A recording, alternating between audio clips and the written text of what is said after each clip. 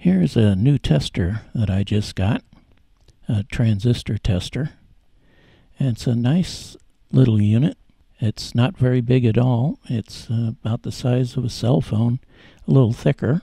And here is the interface.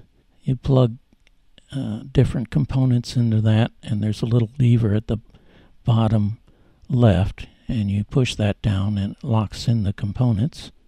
And here's all the things that it will identify automatically. So I thought I'd do some testing, and here's what I'm going to be using a transformer and some MOSFETs, regular transistors, a resistor, capacitors, and this little unit will test it. Now, a couple or yesterday, uh, I was uh, explaining to some friends about this little tester, and they were all saying to me, You ought to make a video of this. I think everybody would be interested in it. So here it is. Okay, I've got this taped down so it doesn't move very much. And I'm going to just stick some parts in here. This is a 100 k ohm resistor. And I'm going to plug this in 1 and 3. As you can see here, 1 and 3. And I'm going to lock it down.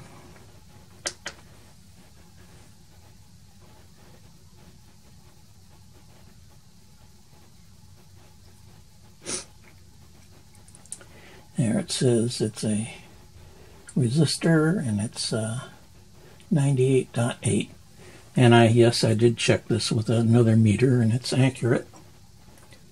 So let's pull that out. Let's put a diode in here. And we'll do one and three again. That is e easy to get to. Okay.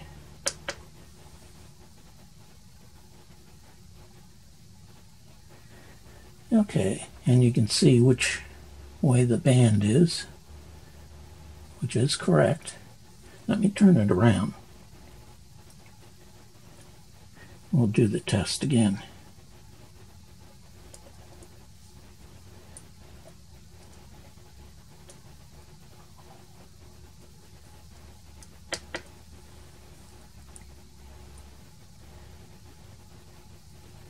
There it is in the other direction. Me put a capacitor in here. This is a, let's see here. Oh, a 4.7 microfarad.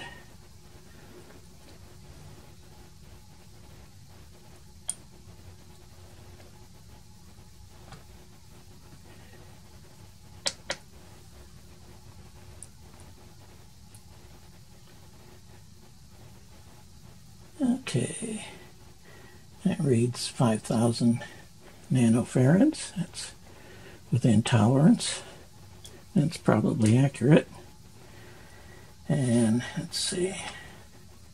Here's a transistor. This is a, get that up here. This is a 2N68, uh, 2N6488. Okay that in.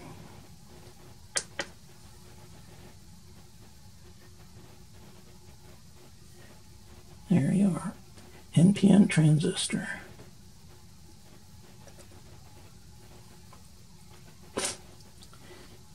Now let's see.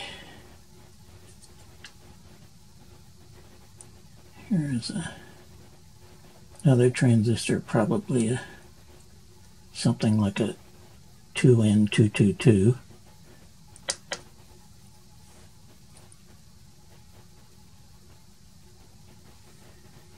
Yeah, NPN. Okay.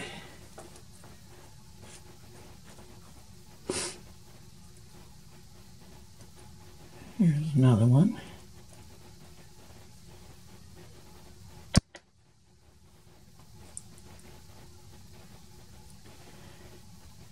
PNP.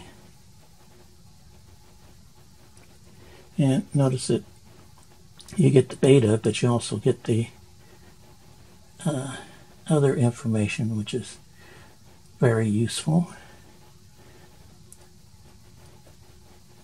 I'm pretty far away from it, so I don't want to say anything wrong. Okay, now let's see. One and one won't work. Let's see. Let me move that over to one and three here. There we go. This is a 500 picofarad. That reads 480. And here's a, a MOSFET.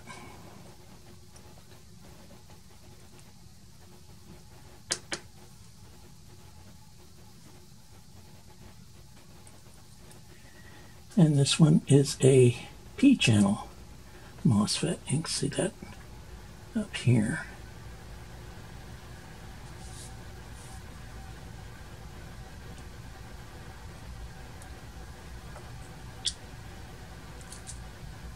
And I've got another MOSFET. Say that last one. Oh, it's so hard to read. Oh, that one was a IRF 9540. Okay. And let's see here. Here's another one. Oops. It shut down automatically.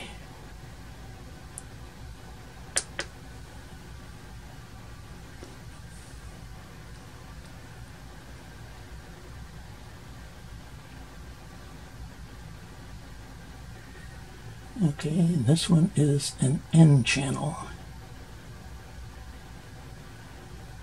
And let me see what this one is.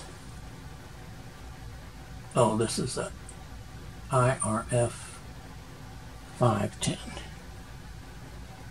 So this little unit works really, really well. And I'm going to plug a coil in here. This is an interstage transformer for a 1920s radio. And I'm going to plug it in one and three. I can get the lead to cooperate here. Okay. Close that down.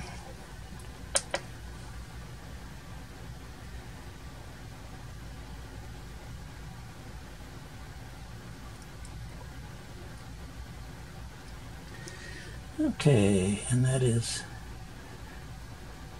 looks like 3,486 millihenries. This is really a nice little unit. Thanks for watching.